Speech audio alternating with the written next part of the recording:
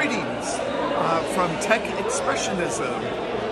And I'm seated in front of one of the many excellent pieces here.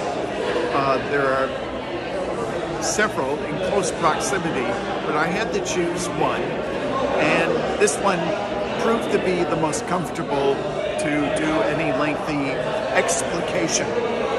So this obviously looks to be algorithmic uh, dynamic, and we were just seated in front when it created this lovely dripping effect that uh, was very compelling.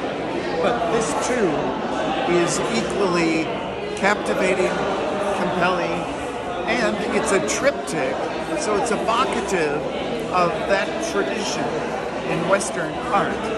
But yet each of the panels, in a sense, are a continuation of the visual idea. As you can see here, the almost flock of um, algorithmic approach is working across all three panels.